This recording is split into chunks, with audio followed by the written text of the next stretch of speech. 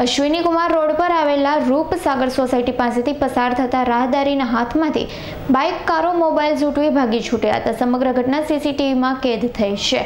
ત્યારે હાલ તો મોબાઈલ સ્નેચરો જાણે પોલીસને સામેથી ચેલેન્જ કરતા હોય તેવું લાગી રહ્યું છે. વરાછા પોલીસ મથકની હદમાં મોબાઈલ સ્નેચિંગનો આતંક દિવસે ને દિવસે વધી રહ્યો છે. ત્યારે હાલમાં એક વીડિયો સામે આવ્યો છે.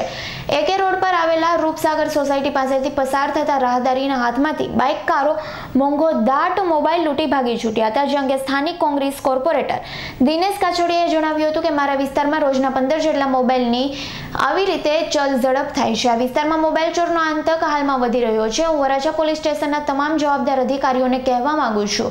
કે રાત્રિ અને દિવસ પેટ્રોલિંગ હાલમાં વધારવું પડે એવી પોઝિશન થઈ ચૂકી છે.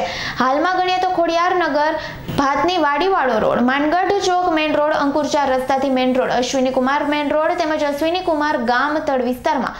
તમામ જગ્યાએથી મોબાઈલની ચીલ ઝડપ ચાલી રહી છે. મારા ઘરની સામે રામબાગમાંથી રૂપસાગર તરફ આવતા એક ભાઈનો મોબાઈલ ઝૂંટવી બાઇક સવાર ભાગી છૂટક્યા હતા. આખી ઘટના મારા ઘરના સીસીટીવી કેમેરામાં કેદ થઈ ગઈ. હાલ તો રોજે રોજ પોલીસને જાણ સામેથી બાઇકર ગેંગ ચેલેન્જ કરતી હોય તેમ મોબાઈલ સ્નેચિંગની ઘટનાઓ સુરતમાં વધી રહી છે. આ મામલે સુરત પોલીસ કલક પગલાં લઈ મોબાઈલ સ્નેચિંગના અંતકથી શહેરીજનોને મુક્ત કરાવશે કે કેમ તે જોવું રહ્યું. Bureau report Surat.